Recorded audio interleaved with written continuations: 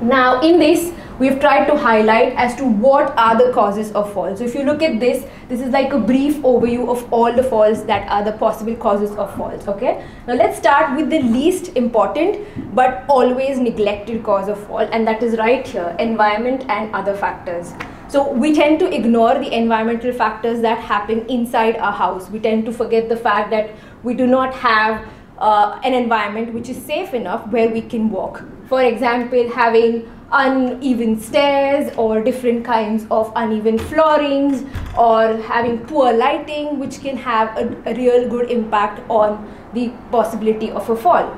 And if we go to the next important cause that is weakness and frailty. So as simple as aging process that happens on a regular basis. Now for example, everybody in this uh, on this earth everybody tends to age every single day. But what happens eventually is in the initial days what happens is we, we tend to lose onto our cells but it is also a possibility that we tend to regain those cells that we lose on a regular basis. But as we tend to keep on aging the process at which we lose our cells is higher than the process that we regain those cells with healthy uh, development on that happens in our body.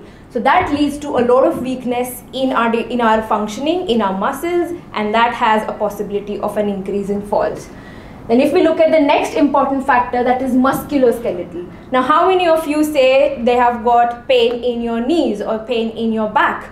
I'm very sure almost all of you have got some or the other issue in terms of your knee pain in terms of your back pain hip pain all of these are contributing factors as a result of aging. So as you age, you tend to lose onto your osteoblasts. These are the cells that are present in your bones, leading to something called as osteoporosis, where you tend to lose the density of your bones, leading to something called as osteoarthritis, which is something like a degeneration in your cartilage leading to a higher susceptibility of falls. So that leads to giving away, that leads to deconditioning of the muscles that happens eventually. And that's why always we keep on telling people to keep on moving as much as you can. You shouldn't be stopping to move just because it hurts. It, movement is very important as much as pain relief. Okay. The next important thing is neurological conditions combined with mental health, right? So different kind of neurological conditions say stroke, Parkinson's, multiple sclerosis, motor neuron disease, different kinds of neurological condition is something that uh, affects your brain and your spinal cord. So obviously when these are the main structures that control your body and when these structures have an impact then it has an impact on your posture, your balance and the way you conduct yourself as well and mental health you all must be aware of alzheimer's dementia. And because you don't know what you're doing you have different kinds of perception disorders like hallucinations visual hallucinations auditory hallucinations where you don't know what you're doing. And once once you don't know what you're doing obviously it, it puts you in a chain where you get confused with your day-to-day -day activities. That again leads to something like a fall and the last thing is heart problems which is quite minimal rare but it is also one of the major things that needs to be considered. So as simple as a syncope or a drop attack what that means is whenever you're not aware of having a healthy blood pressure if you tend to tend to change your positions at times which is all of a sudden you tend to drop on your blood pressure that again leads to a fall. So it's always better to be aware of all these factors that can eventually lead to a fall. So it's more about creating awareness and having that awareness about different things and acting upon it accordingly. Okay? Now, what are the effects once you have a fall? What is it that it can lead to?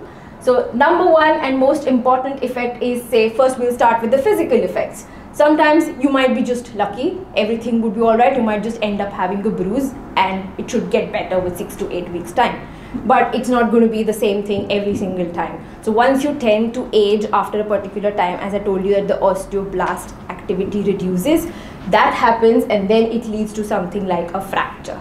Okay, and once you have a fracture, obviously that makes things more difficult to cope up with because you already have a low density in your muscles, in your uh, bones, and obviously to recover from that, it takes even longer than that. Yeah and then all of that again if you happen to damage your head if you happen to hit your head that again can lead to an increase in something called as the intracranial pressure leading to something like a brain hemorrhage. But all of these are something that I'm talking about extreme ends. But you should always be aware of what is it that it can lead to so that you're in a position to act for yourself as well as for someone like a close family member, right?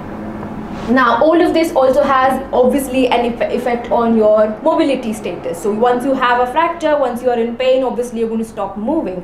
That is going to have effect on your muscle fibers. So they are going to shrink, they are going to become thin, and obviously to recover from that, you're going to take again a little bit longer than that, right? This can all lead to something like a mental depression because you're not able to do what you can do. You can't go and do your gardening for two hours that you were able to do for, say, the last one month and all of a sudden that's putting you off and you have to sit back home doing nothing possibly watching netflix which you don't even enjoy. So that's horrible isn't it to be in that state of mind? So that leads and again that leads to something called as very important fear. So you fear to do anything. You fear to stand up. You fear to go out to garden. You fear to do drive. You fear to do everything for that matter because you are not confident enough. And to build that confidence it's again a matter of time right? And restricts you restricts your day-to-day activities and your lifestyle.